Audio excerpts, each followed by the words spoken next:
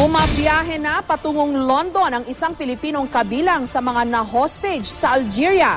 Pero bago siya umalis, nakausap ng GMA News si Jojo Balmaceda na empleyado ng kumpanyang British Petroleum. Kinumpirma ng country manager ng Moody Agency, ang employment agency ni Balmaceda na nakabase sa Qatar, na empleyado nga siya ng BP o ng, Bit, o ng British Petroleum at nakadeploy sa Algeria.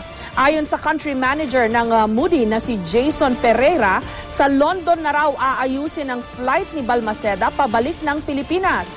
Nakausap na rin daw si naka, nagkausap na rin daw sila ni Balmaceda bago ito lumipad patungong London.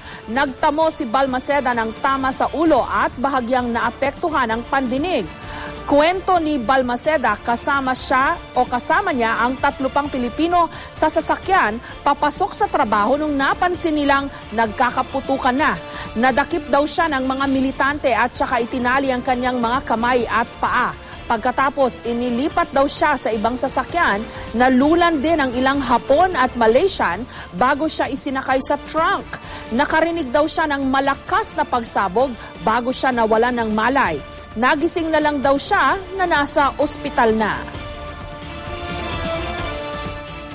nung pagkatapos nun, tumak to- tumakbo na ako papalayo doon sa ano kasi ba, ang iniisip ko baka sumabog yung sasakyan. Then, nawala na ako ng ano, nawala na ako ng malay.